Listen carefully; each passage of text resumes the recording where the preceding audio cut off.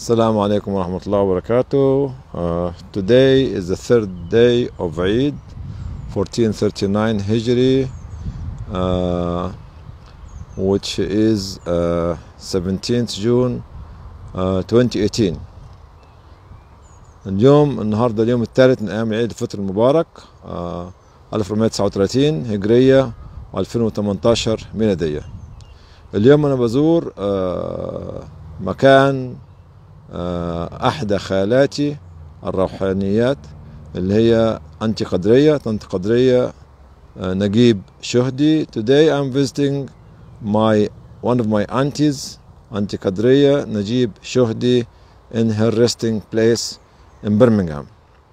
اليوم أنا بزورهم بزور هذا المكان الجميل الذي أعتقد وأجزم أنه قطعة من الجنة. Today I'm visiting a part of heaven. One of the gardens of the garden of Eden in heaven. هذا المكان هو قطعة من الجنة. كل شخص فيه وكل إنسان فيه رجل أو امرأة طفل أم شاب عجوز أم كبير يتمتع الآن بصحبة المصطفى صلى الله عليه وسلم وحسن النظر إلى نور وجه الله سبحانه وتعالى ورؤيه مقعده من الجنه. This place is a place of heaven. Everyone here is enjoying himself or herself with his place in heaven looking at the brightness of the face, beautiful face of Allah subhanahu wa ta'ala, the companionship of Prophet Muhammad sallallahu alaihi wasallam, and the good people and prophets there. This is not a land of sorrow. This is not a land of darkness. This is not a land of punishment. هذا المكان ليس مكان للتعذيب أو مكان لل...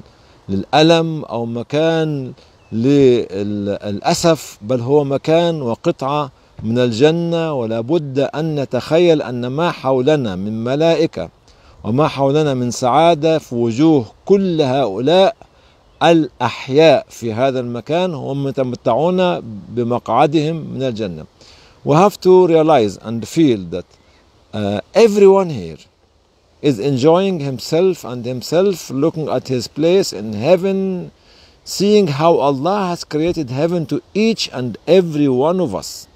Listening to me nowadays, all angels and everyone here in their places here, listening, looking, being happy to see people who are not related to them, don't have any blood relation, but who have this kind of sentimental and uh, belief relation. هؤلاء الناس حاليا ينظرون إلينا جميعا ونحن نجيء هنا ها؟ لكي يروا في سعادة ويروا في حنين إلى قيامة القيامة. أننا من هؤلاء الناس الذين يأتون لزيارتهم؟ ومن هؤلاء الناس الذين يأتون لكي يدعو لهم دون ان يعرفوهم ويدعو لهم دون ان يكون هناك بيننا وبينهم اي صله رحم أو اي صله قرابه أو اي صله دم. Those people here when they look at us here coming to pray for them, coming to make dua for them, so happy for people to visit them. They were living on earth like us. هم كانوا بيعيشوا على الأرض زينا بالضبط لكن خلاص انقضى الأجل وانتقلوا من حياة إلى حياة أخرى. They were living like us on earth. Actually exactly like us. But now they are living in another life, in another world, waiting for the mighty day of judgment when they really will be enjoying themselves with Allah and with the prophets and with everybody.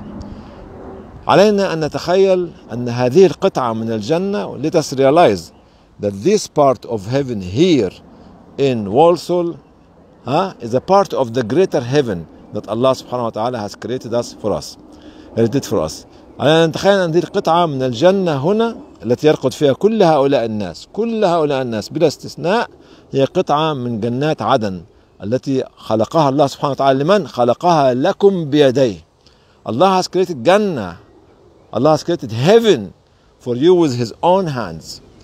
You know this sand here, you know this mud here, it's not, it will be made in heaven by za'faran, misk, and amber.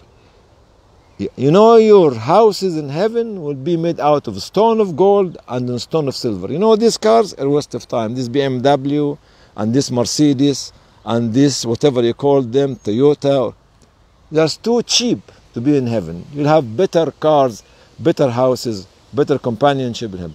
الله سبحانه وتعالى هو الذي خلق لنا الجنة بيديه وجعل فيها كل شيء كما يراه ما لا عين رأت ولا أذن سمعت ولا خطر ولا يخطر على subhanahu wa ta'ala has created heaven for all of us by his own hand nobody can imagine no mind no soul no imagination can imagine the magnificent beauty of the heaven that Allah has created for each and every one of you but to go to heaven as we are standing here now you have to prepare huh, your homework first to Allah subhanahu wa ta'ala عشان ندخل هذه الجنة الجميلة التي يتمتع فيها كل هؤلاء. ها بالعافية والصحة وحسن النظر لوجه الله سبحانه وتعالى وصحبة المصطفى صلى الله عليه وسلم والأنبياء. لابد أن نقدم عملنا. لابد أن نقدم عملنا لله سبحانه وتعالى. We have to go to heaven to be with those people here and there.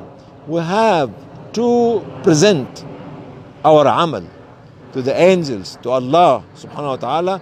Allah the merciful Allah the forgiver Allah the sustainer and the, the mighty Allah سبحانه وتعالى عشان ندخل هذه الجنة لابد أن يكون لنا عمل عمل في الدنيا نعمله عمل في الدنيا نقيمه ونقيمه عمل في الدنيا نخدم به كل الناس to go to heaven each and every one of us inshallah we have to do this work to help people save humanity to worship Allah to be with the poor with the elderly with the sick with the children with the orphans with the widows with everyone so this will be counted to us this will be counted to us and will be elevating our, our, our seats and our place in heaven to a higher places. In heaven, brothers and sisters, في الجنة أيها الإخوة والأخوات آه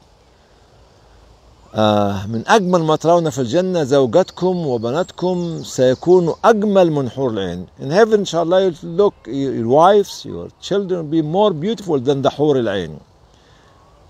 Even your wife in heaven, inshallah, if she accepts you to be her husband, when she looks at earth, the brightness of her face will shine the whole earth. Stronger shine than the, the, the shining light of the sun itself. حينما تنظر المرأة المؤمنة من الجنة إلى الأرض فإن نور جمال وجهها سيضيء الأرض بإضياء أقوى من نور الشمس نفسه وهذا هو قيمة الإيمان and this is the value of the iman of such a woman in heaven Allah subhanahu wa ta'ala will give you what, what you have never ever imagined when you are here.